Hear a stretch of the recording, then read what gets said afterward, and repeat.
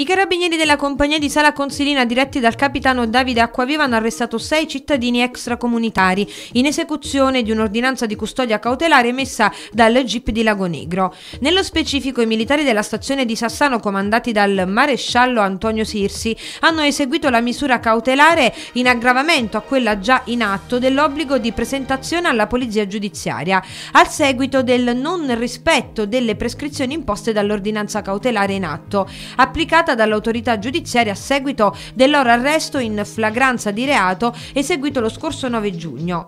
I sei stranieri vennero sorpresi infatti nel loro appartamento nella frazione di Caiazzano di Sassano con 11 involucri termosaldati di sostanza stupefacente del tipo marijuana amnesia del peso complessivo di circa 70 grammi, della quale i sei extracomunitari avevano dichiarato di disconoscerne la provenienza.